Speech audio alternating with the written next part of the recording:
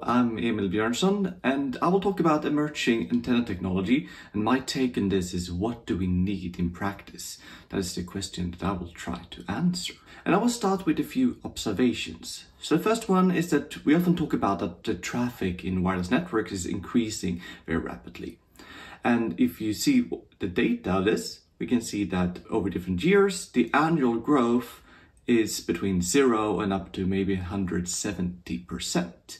And 10 years ago, when mobile broadband was a new thing, then we could actually see an enormous increase above 100%. But then over time, this has started to decrease. And now we are down more at like 30%. That is our traffic growth. And this is a similar trend now as we are having on the internet in general. So I think the way to interpret this is that when mobile broadband was new, we were moving over our usage to using mobile devices.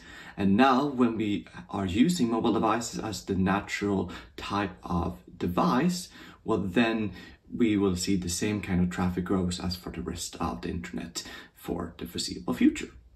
So what does this really mean? Well, I think that the reason that we're seeing this slow 30% growth is because we are using our devices more and more and not because we really need high data rate per device. Of course, that will also increase over time, but the dominant factor is the total growth of the data traffic that is made up by many different devices. The second observation that I think is important is that most of the active users in a network are at the edge of the cell. So let me explain why that is the case. So here I'm showing a coverage area 500 by 500 meters. I have a base station in the center. It is a simple scenario where you only see a path loss that is degrading the signal strength with the distance. In the center of the cell, you have the base station. And here there is a maximum spectral efficiency in bits per second per hertz that you can deliver because of the modulation format that your standard is supporting. Your hardware cannot deal with higher modulation formats than that number. For example, it might be 8 bits per second hertz.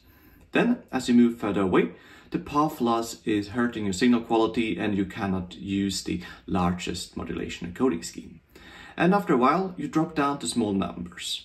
And here, you are either limited by the noise if you're in large cells, or if you have a small cell deployment, you might be limited by interference. And you're down at rather small spectral efficiency values. So when you turn on your device, you will be somewhere in this network. And since people want to use the same services everywhere, if you are in the center of the cell, you can easily get the service that you need. And your device doesn't need to be continually turned on. Even if you're streaming a video continuously, you can take small breaks all the time uh, when you are not needing data because you, you get the high data rate than you actually need. And people at the edge of the cell, they will need their devices to be turned on all the time. And maybe that isn't enough to give them the data rate that they need. So because of this reason, there are more users active in the cell at the edges because they need to be turned on for a longer time.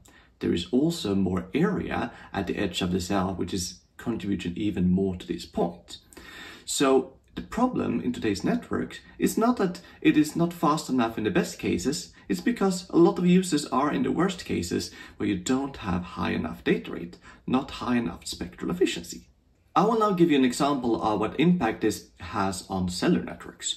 I will compare two different cases. One that I call massive MIMO, multiple input, multiple output. So you have base stations here with 100 antennas in the center of the cell. There are four cells just to make it easy. And then we have a similar scenario with also 4 by 100s of 400 antennas, but now they are spread out in 400 cells and just one antenna in each of the base stations. So this is a really small cell or ultra dense network deployment. And if we are looking at the spectral efficiency that you will get and see when you're moving around this area, here's a cumulative distribution function. So it's a variations as you're moving around an area. And what we can see is that for the black curve, which is a cellular massive MIMO network here, we get this black curve.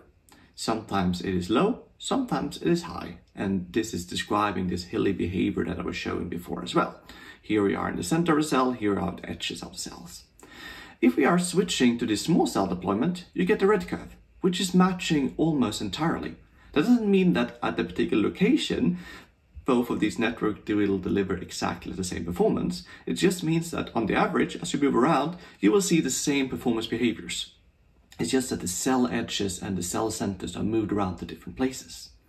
So on the average, you will not be more happy with any of these two deployments. It's dominated by large variations. What can we do about that? Well, the solution, I think, is what we call cell-free or distributed massive MIMO. So that is building on the small cell deployment, but we are connecting all of the access points together using cloud computing so that we can actually let them cooperate and serve you wherever you are. So you will not be served by just one access point, the one with the strongest signal, but all the surrounding ones that can provide you with the strong signals.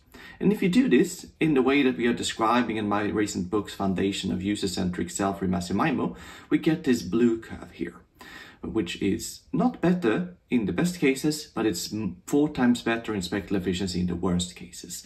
So we are really focusing on the users that will be active most of the time because they are at the edges of the cells and we are improving a lot for them. So we will actually see an improvement on the type of service quality that you can expect in the network.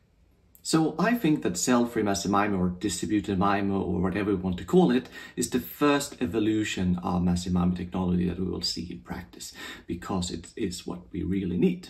But there are two more long-term flavors that people are talking about. The first one is reconfigurable intelligent surfaces. These are like RF mirrors that can reflect signals from a transmitter towards a receiver to take it around a blocking object, for example. And this is an exciting new technology it's a type of repeater that is not actually amplifying signals, but it's just reflecting them as a mirror would do.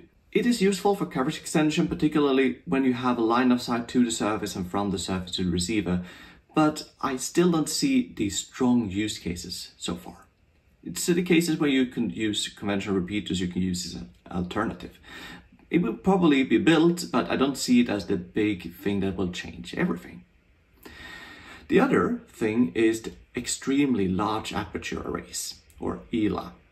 So if massive MIMO base stations are called massive because we have many antennas, they're still physically small when you put them at the top of a building, and they will still create beams towards the receiver when we are in line of sight scenarios. But if we are building an extremely large aperture array, maybe covering the entire building side here, then we will now extend the radiative near field by like kilometer. And then the receivers will be in this near field and we can focus signals, not creating focused beams, but instead strong balls of energy around the receiver. And we can use this for multiple things. We can multiplex many devices at different locations. So push how many devices we can serve by orders of magnitude.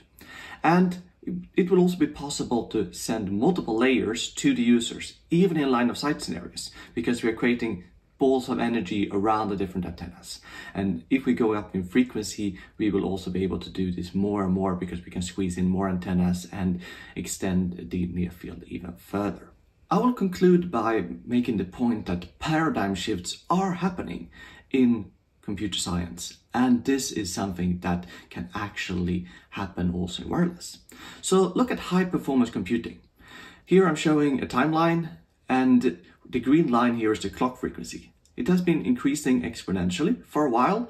In year 2000, we reached 1 gigahertz uh, in clock frequency. But then we saw this kind of saturation. So nowadays, it's only a few gigahertz that is the sampling rate or clock frequency. And what has instead happened is that for a long time we used one processing core in our computers. And then around the year 2010, we started to use more and more cores. And now this is what really dominates the evolution of processors. To have more cores so we can process multiple layers at the same time.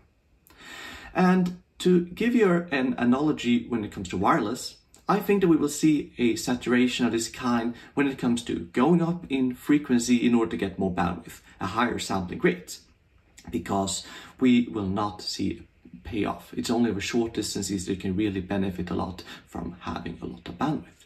Instead, in order to handle more traffic, we would like to serve many users at the same time and send many layers. And that is the analogy here of using more cores or layers. Now it's spatial layers that we are transmitting, maybe using cell-free massive MIMO or using extremely large aperture arrays where you can actually send as many layers as you like by just adding more and more antennas into your arrays.